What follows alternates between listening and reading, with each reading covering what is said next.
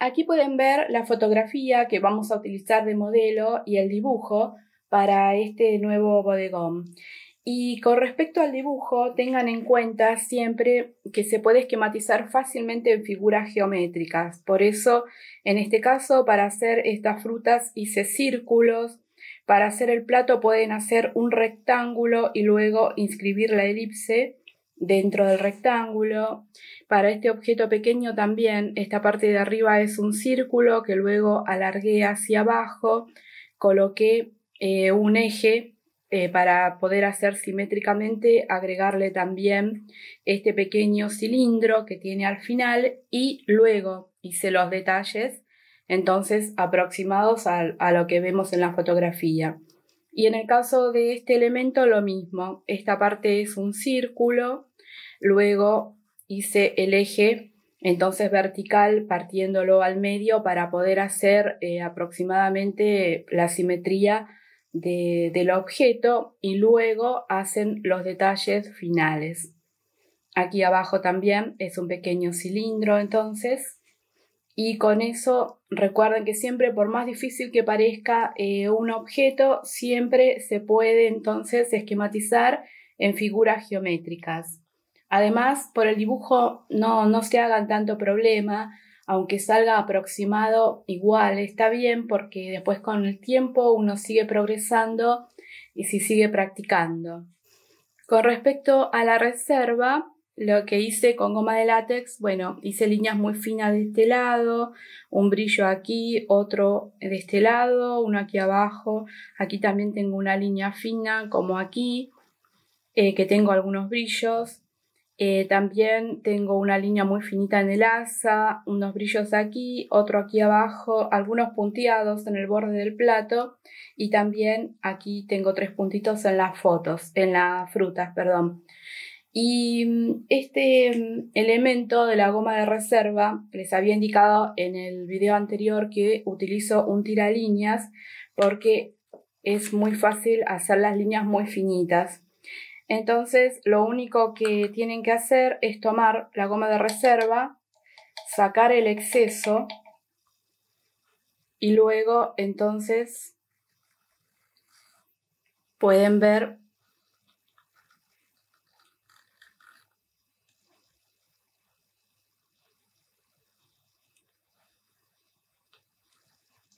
lo finas de las líneas que se pueden realizar. Y lo bueno es que Inmediatamente después que lo usan pueden sacar el excedente entonces con un paño de papel y si quedan algunas partes luego que se seca el producto simplemente con la mano lo pueden retirar. Vamos a hablar brevemente sobre la composición y el equilibrio en un bodegón porque una composición eh, sería cómo repartimos los diferentes elementos del bodegón para que se establezca un criterio estético en el cuadro de un reparto de las masas o de los pesos, es decir, dónde colocamos los diferentes objetos. Y esto es muy importante porque afortunadamente en el bodegón nosotros podemos tomar decisiones sobre casi todo, es decir, eh, qué objetos pintar, qué iluminación vamos a colocar, qué fondo, sobre dónde vamos a sentar los objetos, eh, qué objetos vamos a elegir, cómo los vamos a pintar y también cómo los vamos a componer, es decir, cómo los, ordenamos en el cuadro.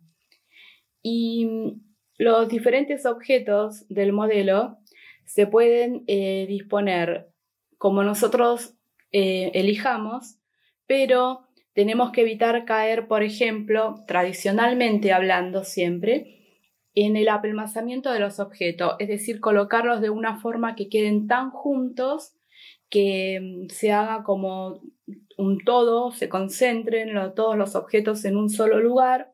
Entonces, eso sería como crear un exceso de unidad.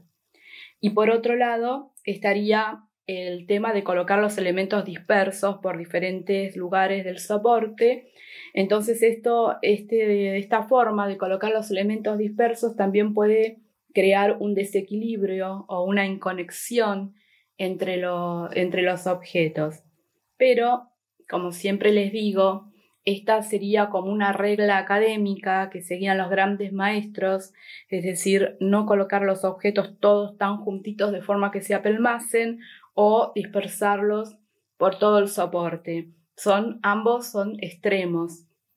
Pero tengan en cuenta que cuidar de no llegar a estos dos extremos, eh, si bien nos suministra una coherencia compositiva, porque mm, el ideal compositivo es lograr una unidad dentro de la variedad de las formas de los elementos de la composición en nuestro bodegón, cómo, está repartida en la superficie em, de un bodegón los diferentes objetos.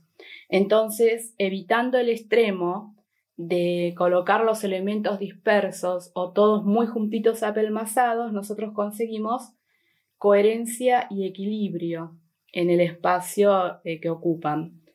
Pero también tenemos que tener en cuenta que en el bodegón moderno no siempre es así, porque hay ejemplos de grandes maestros del siglo XX sobre todo que rompían deliberadamente estas reglas al hacer sus bodegones. Uno de ellos es el caso de Morandi, por ejemplo, que tiene elementos todos muy juntos, eh, muchas obras tiene realizadas con sus elementos todos muy juntos y en el centro del cuadro. Y sin embargo, eh, creo que muy pocos eh, bodegones pueden llegar a superar la belleza de la obra de este maestro. Es decir, entonces, que académicamente una composición está correcta si no tiene exceso de unidad en los objetos y tampoco dispersión de los objetos. Eso académicamente. También otro punto a tener en cuenta es que una vez que hemos elegido nuestros objetos, nos preguntamos dónde colocarlos para que la composición resulte más efectiva. Y para esto tenemos dos herramientas, que una de ellas es la regla de tercios, como pueden ver aquí en la pantalla. Eh, se trata de dividir el soporte, no importa el tamaño o el soporte que usemos, dividirlo horizontal y verticalmente en tres partes iguales. Entonces, donde se cruzan, eh, ahí colocamos líneas en esa división. Y donde se cruzan esas líneas, donde se intersectan, entonces son los puntos donde es más apropiado académicamente colocar los elementos más importantes de nuestra composición, el punto focal o los elementos secundarios más importantes, por eso pueden ver que en este caso em, la línea, una de las líneas la regla de tercios, la de la izquierda, entonces pasa justo por el centro de las tres frutas y también em, los otros dos objetos juntos, la otra línea intenté que pasara justo por el medio de ambos, es decir, como si fueran un todo, que pasaran por el medio de ambos pero no es necesario utilizar los cuatro puntos. Con que usemos un punto, por ejemplo, para colocar el, el, centro de interés o lo más importante de la composición, estaría bien. Ahora, si tenemos objetos secundarios que también son importantes, o en el tema del bodegón porque son muy pocos objetos, entonces podemos cuidar también que los otros objetos también caigan eh, cerca de esos puntos. Tampoco hay que cuidar de colocarlos milimétricamente. Es una aproximación donde estos puntos nos dicen que cerca de esa zona eh, podríamos conseguir em, una composición mucho más equilibrada y a la vez dinámica, porque em, lo que crea simetría y una composición muy estática es colocar elementos en el centro.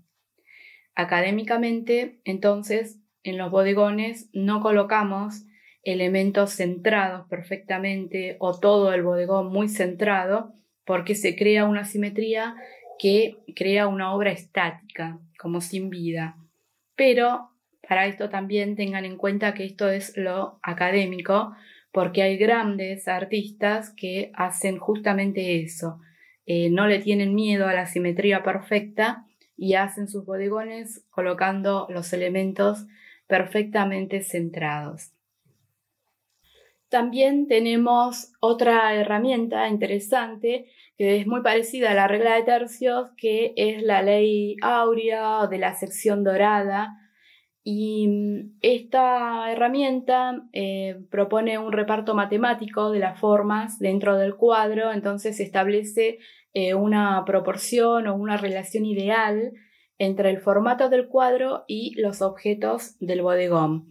Entonces, para obtener ese punto dorado se multiplica tanto la anchura como la altura eh, de la tela o del papel por 0,618.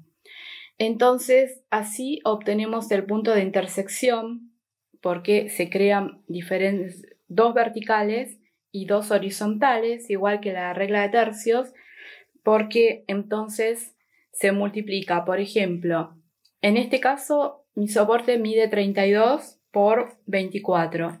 Entonces, multipliqué 32 por 0,618 y me dio 19,77, 19,77. Entonces lo mido desde este extremo y aproximadamente por aquí voy a encontrar entonces esa medida y se hace una vertical.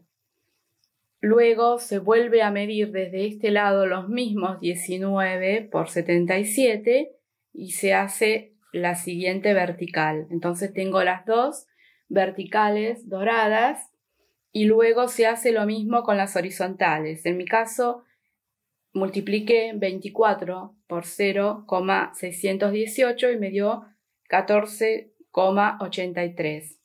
Entonces voy a medir desde este ángulo, desde esta esquina, 14,83, voy a hacer una marca, luego la voy a medir desde esta esquina hacia arriba, 14,83, de este lado lo mismo, 14,83 y de este lado hacia aquí otra vez igual y luego 1 esos puntos. Entonces se me va a formar nuevamente una cuadrícula parecida, por eso le decía que es parecida a la regla de tercios, y donde se intersecten esos puntos, entonces ahí tenemos los puntos dorados, donde otra vez académicamente es interesante colocar los elementos más importantes del bodegón. Y también tengan en cuenta entonces que esto es académicamente. Es una, es una idea clásica porque eh, fue adoptada por muchos artistas de todas las épocas y es muy interesante, por ejemplo, medir en los cuadros de los grandes maestros cuando tenemos la medida correcta de la obra entonces, eh, medimos y es muy interesante ver cómo utilizaban esta ley áurea o de la sección dorada. Y esta regla áurea, el origen se puede remontar al Renacimiento, donde Luca Pacioli descubrió una obra anterior del siglo III del célebre matemático Euclides, en su obra Elementos, en el volumen cuarto, él había estudiado la estética de las proporciones y estableció la división ideal de una línea o de un espacio. Entonces Luca Pacioli, en el Renacimiento, 15 siglos después, descubrió la obra de Euclides y escribió el libro La Divina Proporción, que fue ilustrado por Leonardo da Vinci. Entonces, en ese libro, él desarrolla la fórmula de Euclides bajo los nombres de regla áurea, punto dorado o ley de la sección dorada. Otro elemento que es muy importante al componer nuestros bodegones son los esquemas de composición, porque mm, la composición de un bodegón se puede resumir en un esquema totalmente geométrico según cómo disponemos los elementos, los diferentes elementos del bodegón. Entonces podemos colocar nuestros objetos de manera que formemos esquemas, es decir, figuras geométricas. En este caso, como pueden ver en la pantalla, mi bodegón tiene un esquema triangular, pero eh, una composición em, geométrica se puede formar con muchas figuras geométricas diferentes. Podemos hacer una composición triangular como en este caso, trapezoidal, eh, una composición en L, también composiciones circulares, cuando colocamos todos los elementos como en un círculo. Entonces se trata de realizar una composición geométrica situando los diferentes elementos del bodegón de una determinada forma que se vea como un esquema claramente geométrico. Eso crea un orden en la composición también. Y la composición es muy importante, sea que utilicemos un esquema geométrico o que utilicemos la regla de tercios o la, sección, áurea, o también que em, sabiendo estas reglas académicas tratemos deliberadamente de hacer lo contrario, porque mm, hay muchas frases que explican el arte de componer. Y por ejemplo, una definición de Henry Matisse decía que la composición es el arte de organizar en forma decorativa los distintos elementos de que dispone el pintor para expresar sus sentimientos. Entonces, fíjense la importancia de la composición. Para Matisse reflejaba los sentimientos del pintor. También Cézanne dijo que la pintura es el arte de combinar efectos, es decir, de establecer relaciones entre colores, contornos y planos, que todo se refiere a la composición. También es muy conocida una definición de Platón, del filósofo griego, entre los artistas, que dijo que componer era encontrar y representar la unidad dentro de la variedad, y la variedad dentro de la unidad. Es decir, encontrar un equilibrio entre estos dos factores, tanto la unidad como la variedad, eh, para crear una obra mucho más interesante, más dinámica. Pero en la práctica no es tan fácil. Por ejemplo, para encontrar unidad estuvimos eh, recién analizando dos herramientas que son muy importantes, que es la regla de tercios y la ley de sección áurea, que nos permiten a nosotros colocar los elementos de una forma que, que genere una composición mucho más interesante y al colocar eh, los objetos bien ordenados eh, alrededor de esos puntos eh, áureos, entonces podemos lograr una unidad y también eh, la adaptación del tema a un esquema geométrico determinado, como hablábamos recién, que en el caso de este bodegón es un triángulo, pero puede ser cualquier otra figura geométrica. Entonces, eso también eh, logra unidad. Y con respecto a la variedad, eh, hay que trabajar en cosas como dramatizar los contrastes.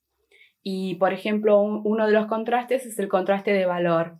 Entonces, en este bodegón, por ejemplo, pueden ver que situé un objeto que va a quedar casi del color del soporte, de un valor muy alto, muy claro, contra un objeto que va, a ser el color más oscuro del bodegón y de valor muy bajo. Entonces aquí tengo contraste de valor. Luego también puede haber contraste de color, entonces dramatizar los contrastes de color. En este caso voy a tener un alto contraste de color entre los colores utilizados en estas frutas y el plato.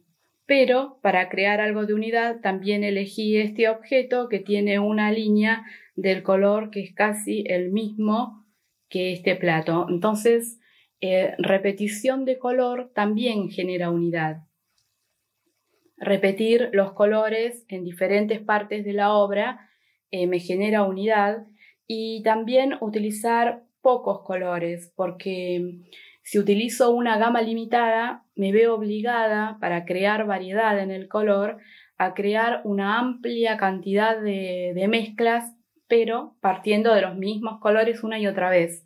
Entonces ahí también estoy generando unidad porque uso pocos colores, entonces todos van a tener la misma raíz y los colores se van a ver armoniosos por más que haga muchas mezclas diferentes. Y la variedad sería eso, las muchas mezclas que hay que hacer para eh, un bodegón o cualquier otra obra. También se puede crear variedad al, realzar las texturas. Y eso es muy importante en un bodegón. Y sin importar los objetos que pintemos, a los artistas que pintamos bodegón nos encantan pintar las texturas porque cada objeto tiene su textura diferente, por eso pueden ver que ya realicé eh, esquemáticamente la textura, por ejemplo, de este objeto, que la realicé con un lápiz de color dorado porque no es acuarelable, es un lápiz de color común, eh, color dorado, entonces no, no copié el diseño del objeto, que pueden ver que es intrincado y también podría pasar un buen tiempo copiando este, este hermoso dibujo. Pero eh, sí lo que hice fue haciendo pequeñas eh, marquitas aleatoriamente en un lado y en otro, entonces sugerí la textura de estos dibujos. Y en esta parte lo que hice es eh, un borrado parcial. Entonces eh, se crea como un, contribuye al volumen del objeto, porque en este lugar va a estar la luz eh, más fuerte y en estos otros lugares no, inclusive este lado es la sombra, que luego también vamos a tapar con una veladura del color de la sombra. Pero eh, también crear eh, contrastes o dramatizar o realzar la textura es lo que da variedad a una pintura de un bodegón, por ejemplo. Y en este caso también vamos a sugerir la textura de este objeto que puede ser eh, sugerida, por ejemplo, a través del esgrafiado. También está la textura de las frutas, que en este caso lo que vamos a hacer es un juego de colores entre amarillos, rojos y rojos más oscuros. Entonces em, tenemos variedad, pero a la vez tenemos unidad. El fondo, por ejemplo, va a ser una mezcla de colores que ya van a encontrarse en este objeto y también en, en, estos, en estas frutas.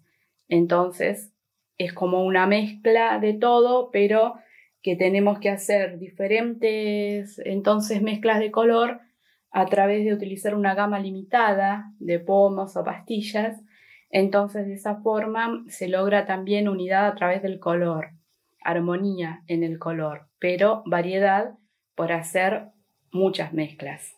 Vamos a comenzar entonces con la pintura de las frutas y lo que vamos a utilizar es la técnica de húmedo sobre húmedo pero eh, sin utilizar, em, sin colocar agua y pintar encima, es decir, no voy a mojar el soporte antes de pintar, sino em, húmedo sobre húmedo va a ser porque vamos a pintar algunas partes en color amarillo y vamos a superponer el rojo carmín de alizarina para eh, las partes em, donde va a haber una mezcla parcial entre el amarillo y el rojo, generando eh, un naranja casi, o que se, vean los dos colores, por eso no voy a hacer la mezcla en la paleta, sino los voy a superponer ligeramente para que en algunas zonas quede eh, el amarillo como se ve en la fotografía.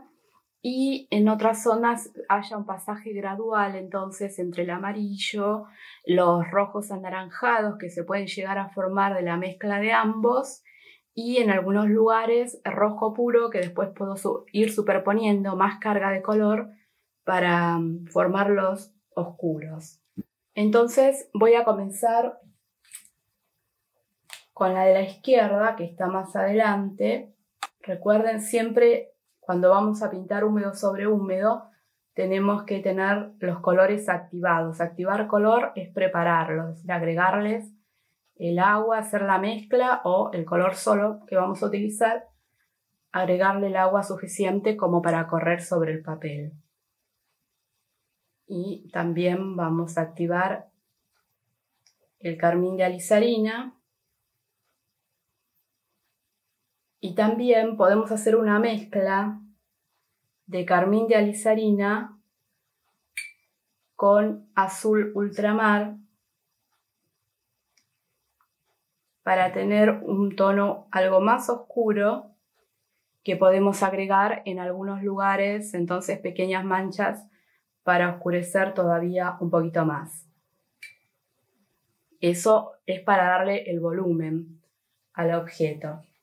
Es un volumen redondeado, entonces tenemos que pensar como si fuera una esfera con la salvedad de acá, que aquí tendríamos como una hendidura, entonces en esta parte se va a generar un poquito de sombra, sombra, luz en esta parte y nuevamente luz aquí. Todo esto simplemente se ven observando el modelo real. También, bueno, para que no tome mucho protagonismo las sombras, en este caso, también la luz es bastante difusa porque es una luz también que proviene de la izquierda y eh, es una mezcla de luz natural en este caso y la luz de artificial, pero eh, no generan tantos eh, cortes bruscos, aunque aquí también he indicado donde aproximadamente podríamos hacer un sombreado un poquito más intenso. Entonces lo primero que voy a hacer es colocar el color amarillo y en estas zonas es donde quiero que predomine entonces y después podemos hacer una base y como veo que los colores son apropiados entonces voy a tomar color con un poquitito más de cuerpo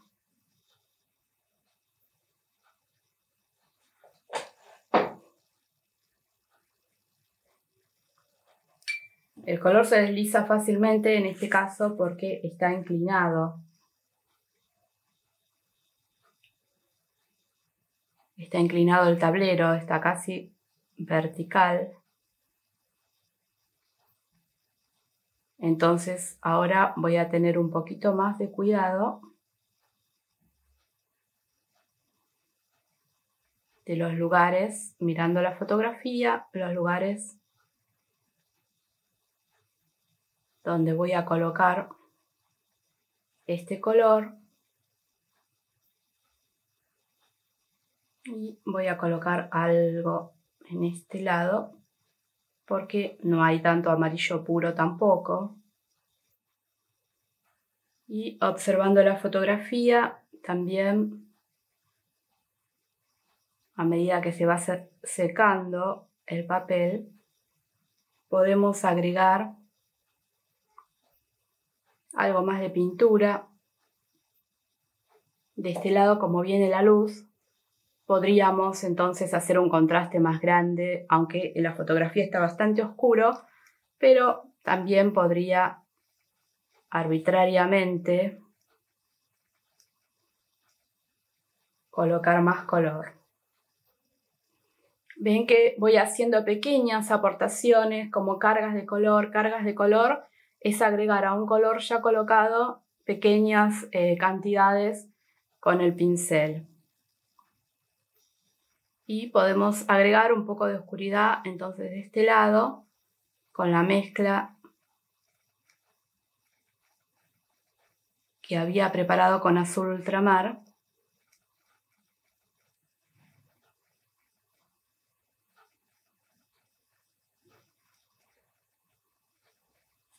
Como para dar un poquito más de volumen.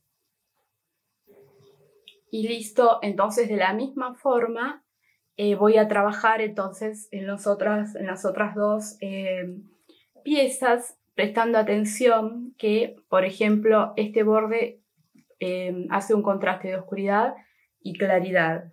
Y este caso al revés, aquí hay oscuridad y aquí hay claridad. Pero voy a esperar entonces a que seque un poquitito los bordes del objeto, entonces para continuar con los siguientes eh, objetos para que no se invada entonces el color de uno a otro, sobre todo para que no se vaya la intensidad de lo que ya hicimos entonces en esta fruta.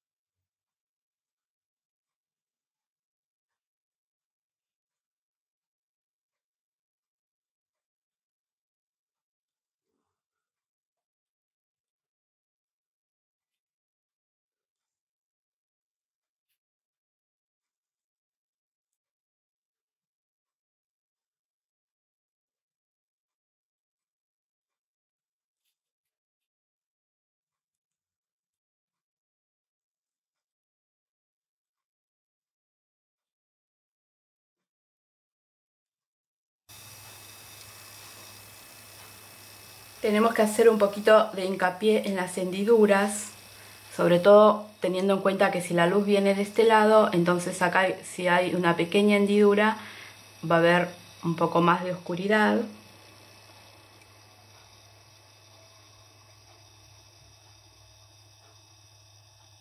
Y luego reforzar la oscuridad en esta zona que va a ser contraste entonces con la fruta que está de este lado.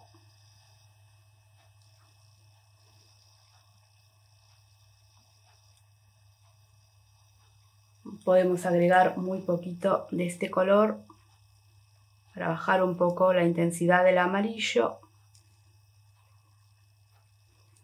Y también voy a agregar algo del color azul ultramar también en este lado porque como pueden ver le da una cualidad terciopelada muy linda que sugiere incluso la textura de esta fruta. Si hay exceso de color lo pueden levantar con el pincel perfectamente. Como pueden ver agregué algo más de oscuridad en esta parte para separar un poquitito más entonces y hacer un contraste de contorno oscuro y claro.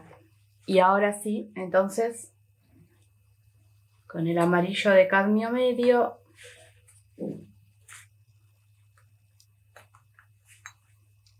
vamos a trabajar en la tercera, en el tercer elemento que tiene bastante color amarillo en esta zona.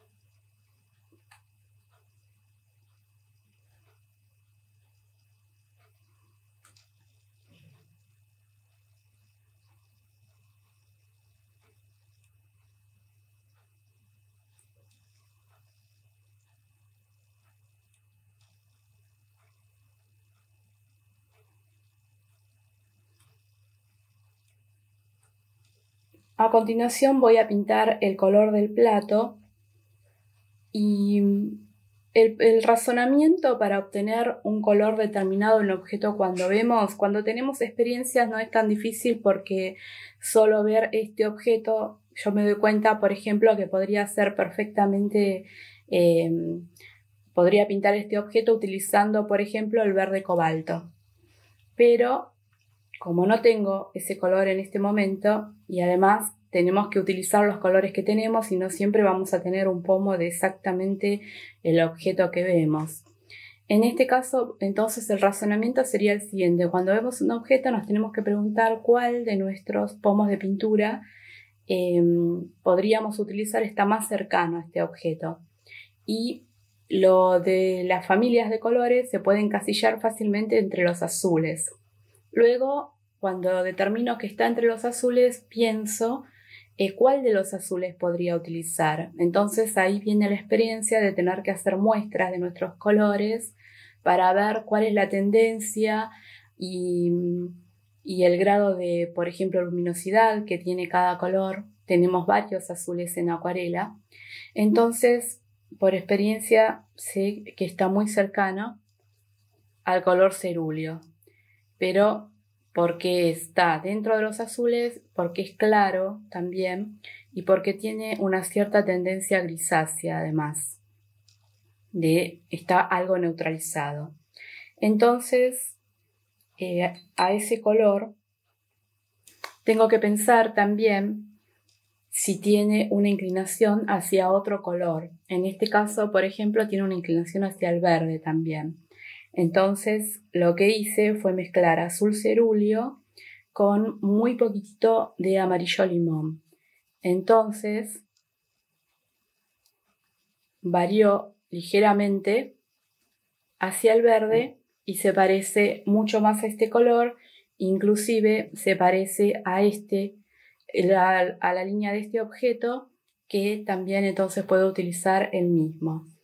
Y el grado de mm, oscuridad, eh, supongamos que fuera mucho más claro el color que estoy mirando, en acuarela es fácil porque agregando más cantidad de agua se puede aclarar un color o también lo puedo aclarar con otro color de la misma gama o con blanco de titanio que, o blanco de china, depende la transparencia que quiera en el color. Entonces, básicamente, para encontrar un color, ese sería el razonamiento. Primero pensamos dentro de cuál se puede encasillar el color, si dentro de los verdes, rojos, amarillos. Luego, si es intenso o desaturado, entonces se puede agrisar con el complementario si veo un color desaturado y también la tendencia, si tiene tendencia al verde o al rojo y por medio de agregarle pequeñas porciones de colores que tengan esa tendencia se puede variar ligeramente el color y más en este caso es muy apropiado que la tendencia sea verde porque hace un perfecto contraste de color complementario entonces.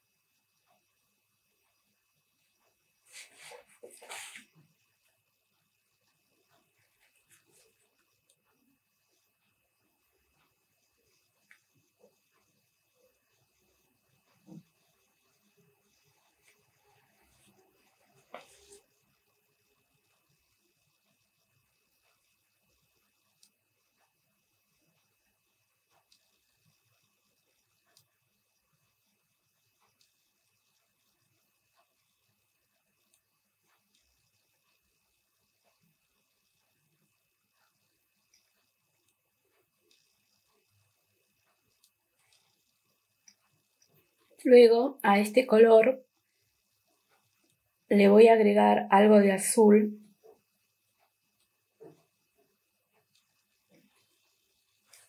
para oscurecerlo y pintar la parte de las sombras. También con este color podemos pintar la franja de este objeto y absorber algo de color en la parte luminosa. A continuación, entonces, vamos a pintar el florero alto y el razonamiento es el mismo.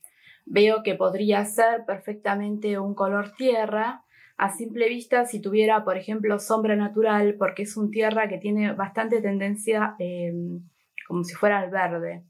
Entonces, em, podría eh, pintarlo, por ejemplo, del color tierra de sombra natural y sería casi este mismo color.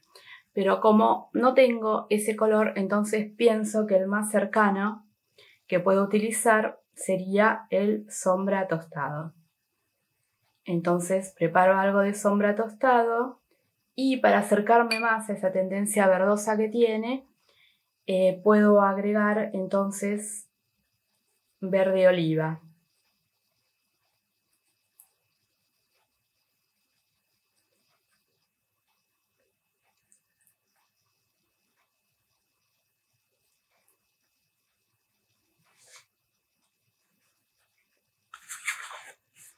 Entonces puedo probar el color y me doy cuenta que podría ser ese color con un poquitito más de tierra tostada.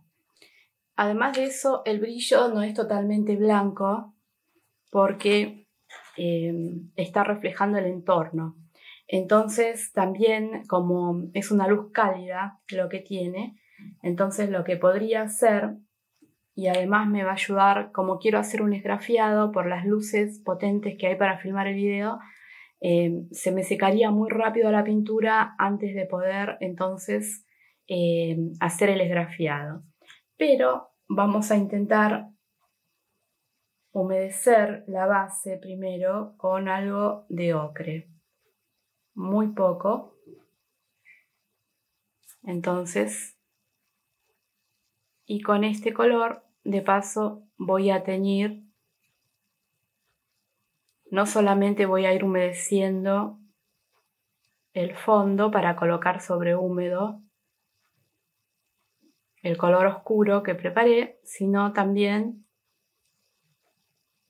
me sirve para dejar de este tono el brillo, porque voy a pintar alrededor. Lo que voy a hacer entonces es empezar a colocar el color.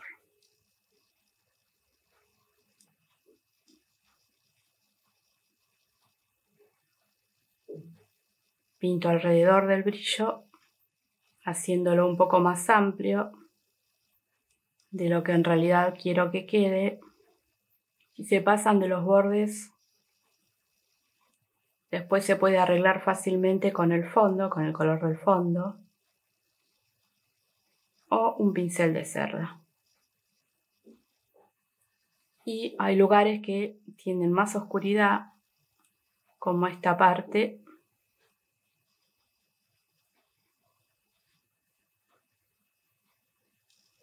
Esta parte parece mucho más luminosa.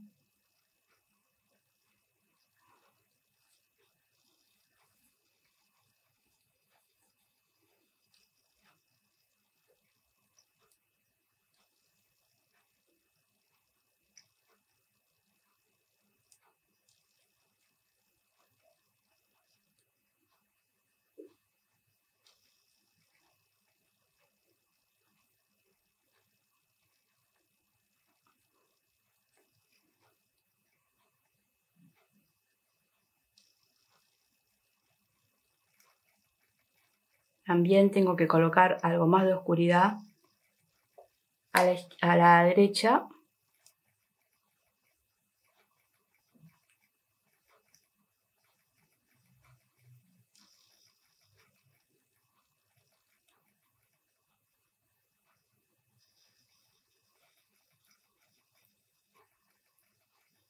Entonces, con un elemento cortante de metal podemos comenzar a probar el esgrafiado.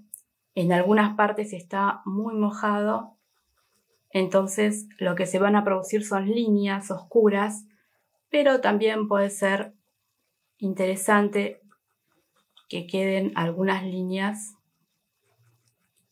oscuras y otras más claras.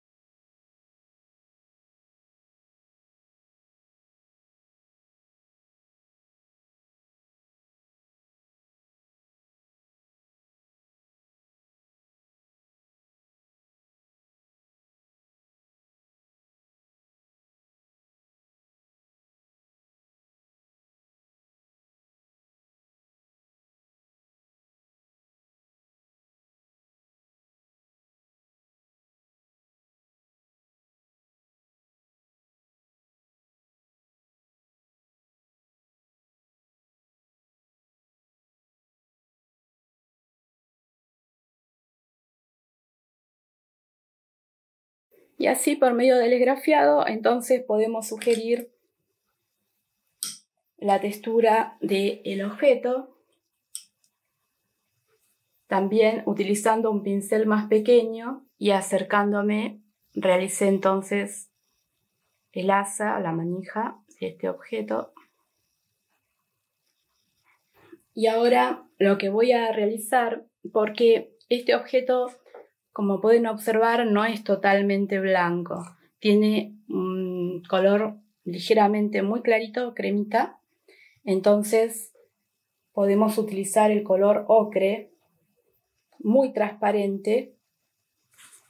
Acuérdense de tener su hoja para probar los diferentes colores que van realizando.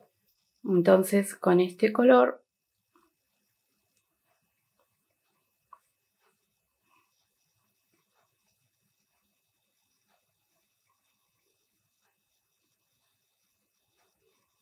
voy a colocar algunas aguadas en este objeto para que refleje sobre todo el entorno. Pero puedo dejar algunas partes eh, más blancas entonces para que refleje más luminosidad. Pero en estas partes, cuando levante los brillos, por ejemplo, se va a poder observar el blanco subyacente. También voy a colocar algo de azul con muy poquitito de este color ocre que preparé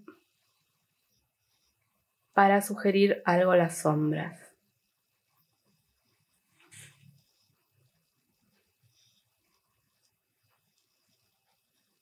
Y ahora para el fondo, para el fondo que lo que sería la pared, entonces voy a preparar eh, un color con amarillo de cadmio medio para crear unidad. Entonces en la obra voy a utilizar el mismo amarillo que utilicé aquí y lo voy a mezclar con el color tierra de sombra tostada.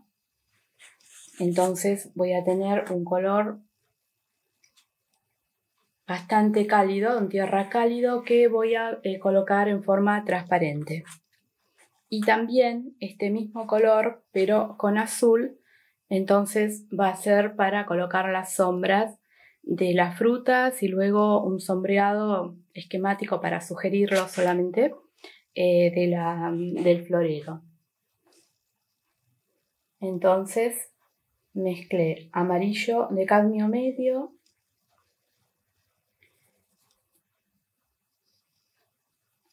y tierra de sombra tostada. Entonces con este color vamos a hacer un fondo bastante cálido. Inclusive se puede ir cambiando la proporción.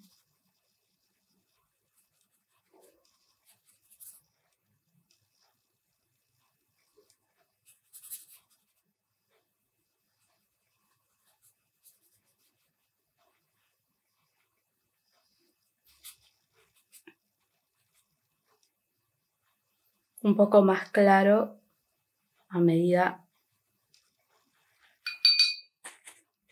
que me acerco a este objeto que es bastante oscuro entonces puede resaltar todavía más. Y también aprovecho para corregir un poquito los bordes. Y también puedo incluso agregarle en algunas partes algo del tono cálido del rojo para hacerlo un poquito más interesante.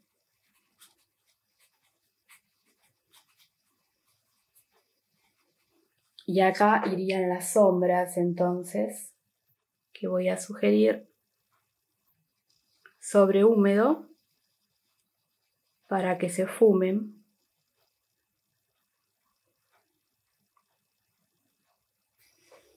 Y lo mismo entonces voy a hacer del otro lado. Y tenemos que sugerir también la sombra del ánfora, también con el mismo color, sobre húmedo, entonces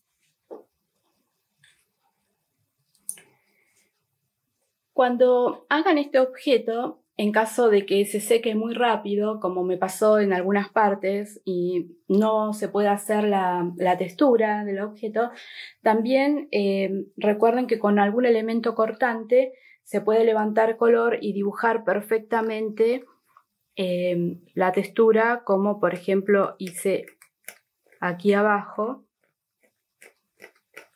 Lo tienen que hacer de una forma muy cuidadosa, pero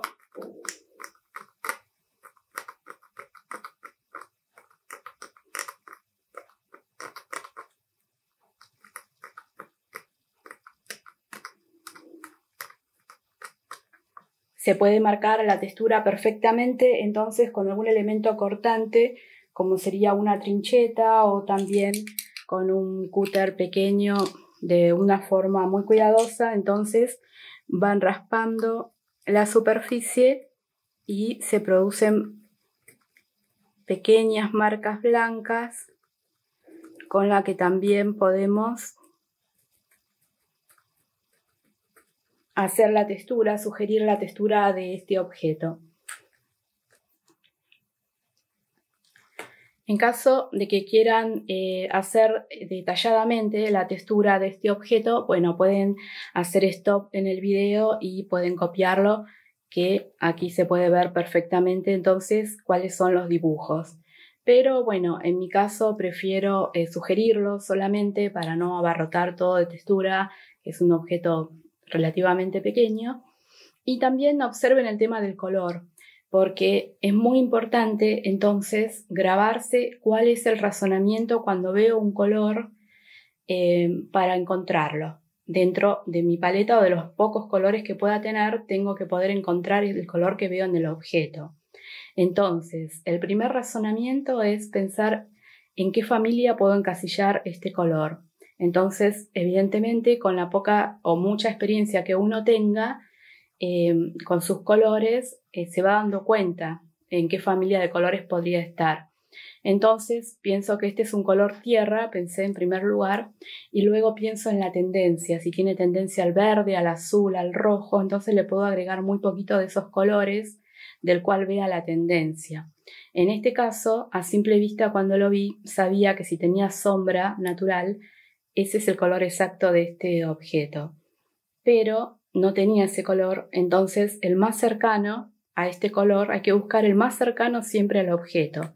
Y el más cercano a este color es el tierra de sombra tostada, en mi caso. Entonces luego me di cuenta que tenía que ser más claro que el tierra de sombra tostada. Eso es fácil porque se aclara con agua o con otro color de la misma, gana, la misma gama. Perdón. También lo podría haber aclarado con ocre, por ejemplo, que está dentro de esta gama de color.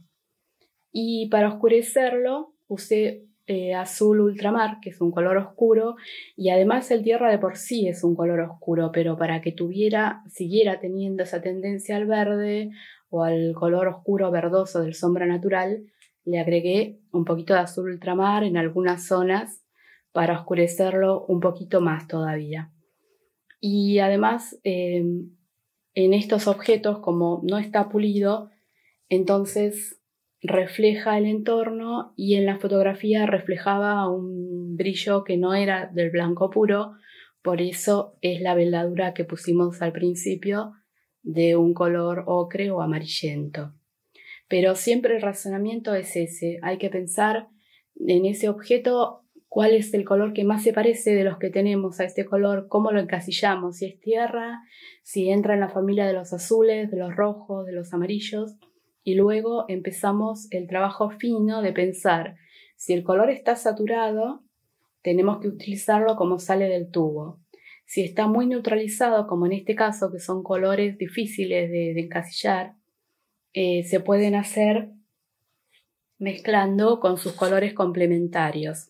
Si hicieron este ejercicio, miren otra vez el video del color, entonces van a recordar que los colores enfrentados son complementarios y entre ellos hay toda una gama de colores neutrales que mm, se pueden utilizar y que generan perfectamente armonía. De hecho, aquí por ejemplo veo varios colores que se podrían asemejar a este color, a este objeto, y entonces, si es un color saturado, lo usamos como sale del tubo, son los colores del perímetro. Si es un color agrisado, voy probando con agregarle muy poquitito de los complementarios, de su complementario directo o algún complementario cercano, y lo voy agrisando. Luego también pienso en la tendencia, digo, cuando veo este color, eh, qué tendencia le veo, si es tendencia al verde, al amarillo, al rojo, al azul. Entonces le agrego muy poquitito de cada, del color que corresponda. Y para aclarar un color, entonces en acuarela es fácil porque con agua lo solucionamos, sino también recuerden que tienen la opción de que en el círculo cromático siempre un color tiene a su lado un color más claro y otro más oscuro. Entonces, si quiero aclarar eh, este color, puedo agregarle cualquiera de los colores hacia el lado más claro. Y si quiero oscurecerlo, entonces voy hacia los colores oscuros y eh, no hay que recurrir al negro, no hace falta. por otro lado, miren este color central que es un gris muy muy oscuro, es casi negro. Entonces ese color lo hice con los tres primarios, azul talo, carmín alizarina y amarillo primario. Entonces ahora para esta, para la parte donde está sentado el bodegón, lo que sería la mesa, voy a preparar un gris eh, neutral, que no, no tengo ese gris en mi paleta, pero se puede preparar fácilmente mezclando dos complementarios, en este caso es rojo, carmín y verde oliva. El rojo carmín y el verde oliva que tengo en este momento, porque también varía, varían las marcas del pigmento a veces, pero en este caso pueden ver que me da perfectamente un tierra de sombra tostado. Entonces le voy a agregar azul y voy probando hasta que pueda obtener un gris. Este es un gris bastante neutral porque no puedo adivinar a simple vista bien la tendencia. Entonces le voy a agregar un poquito más de azul para que sea un gris que tenga tendencia al azul. Y lentamente va cambiando. Entonces con este gris con bastante tendencia al azul, voy a poder hacer entonces de una forma bastante transparente eh, lo que sería el color de la mesa. Aunque en la fotografía eh, no es tan claro, pero podemos cambiarlo según lo que necesitemos en la obra.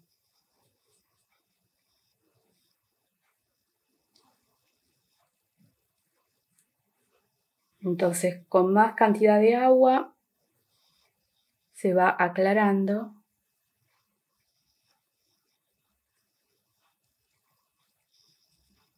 Y también lo que voy a hacer, este color lo voy a mezclar todavía más con un poquito de azul. Y entonces vamos a hacer la sombra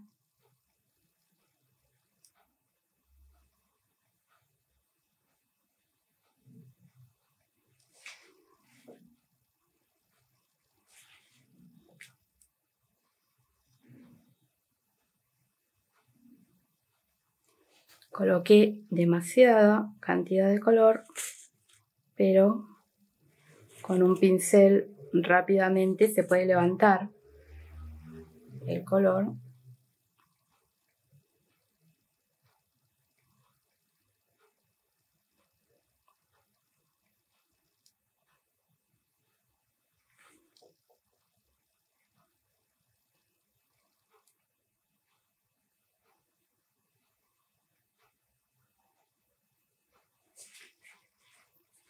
y como tiene algo de humedad, entonces se va a mezclar levemente con el fondo y lo mismo tengo que hacer entonces hacia este lado. Ahora entonces podemos sacar la goma de reserva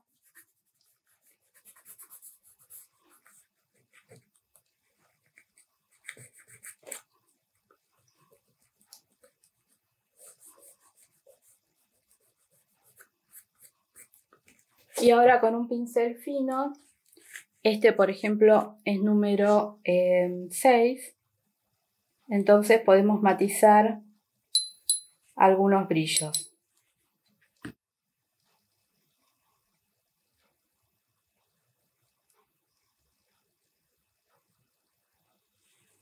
Este brillo quedó muy grande, entonces se puede corregir fácilmente con un poquito del color del objeto. Con un poquito de sombra tostada, entonces puedo corregir el dibujo y darle un poquitito más de profundidad entonces.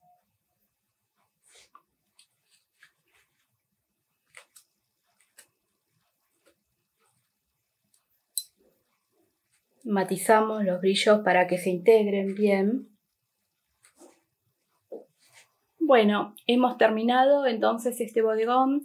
Espero que disfruten mucho si quieren copiar este bodegón, hacerlo eh, por etapas también, pero eh, sería mucho más eh, gratificante para ustedes si eligen objetos que signifiquen algo para ustedes, así pueden practicar el tema de la composición y también el tema sobre encontrar los colores.